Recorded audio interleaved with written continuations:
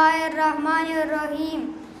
زما محترم استاد او خوږو مرګرو السلام علیکم ورحمت الله وبرکاته نن زما موضوع د حروف تهجی په جبې د نبی علیہ السلام راتک دی محترم اوریدونکو راځئ چې زه تاسو ته د حروف تهجی په جبې د نبی علیہ السلام راتک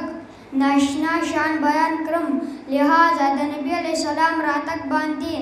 الف ویل د الله رسول راغلی با ویل د اسلام بانی راغلی تا ویل تاجدار مدینه راغلی سا ویل ثروت والا راغلی جیم ویل جلیل القدر راغلی ها ویل حبیب الله راغلی خا ویل خاتم النبیین راغلی